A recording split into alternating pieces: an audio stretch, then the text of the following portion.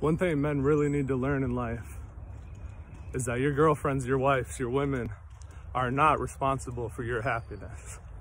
That's up to you. Nobody can make you happy. She can't take care of you to the point of where you finally feel like a real man. That's up to you.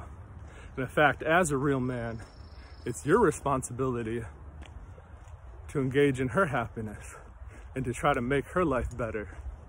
Because as a man who can do that for a woman, as a man who's making a life that a woman can see and that if she attaches herself to will be better, will be happier, what do you think is going to happen to that relationship?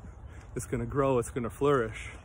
When a man's acting lazy, when a man's acting like a chump, like a child, thinking it's her responsibility to take care of him, to please him, to make him happy, all you're doing are slowly blowing out that fire that's inside her until it's nothing more than an ember and a lump of coal. It's up to you, men, how your relationship ends up.